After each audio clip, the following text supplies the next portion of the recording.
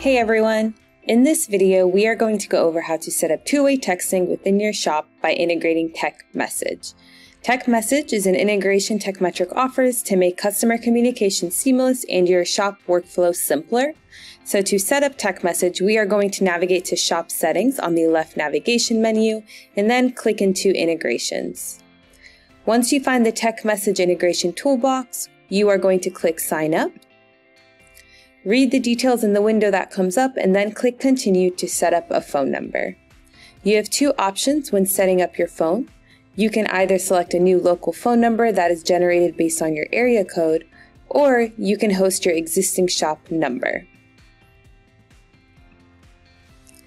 There are a couple things you should keep in mind when hosting an existing number. Since Tekmetric is hosting a texting portion of your number, you will want to avoid hosting a cell phone if you host a cell phone number, all your text messages will populate into Tekmetric and you will stop receiving them on your phone.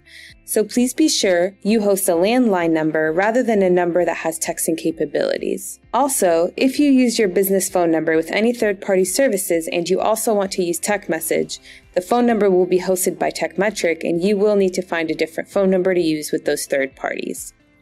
So once you add your phone number here, you're going to click Next. In step two, you are going to read the letter of authorization and then sign.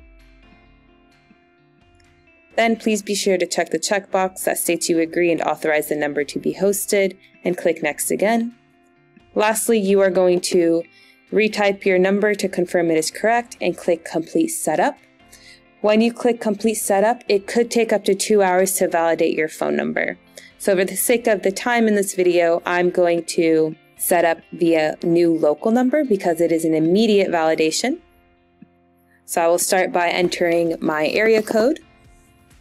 Tekmetric will generate a list of available phone numbers and I can pick whichever I'd like. And then I'll click complete setup.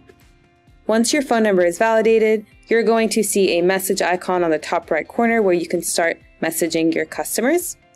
If you would like more information on how to use Tekmessage, please do not hesitate to watch the next video on how to use Tekmessage. Thanks for watching. Please do not forget to give this video a thumbs up and to share it with the rest of your team. Also, please subscribe to our YouTube channel if you would like to see more helpful videos for auto repair shops.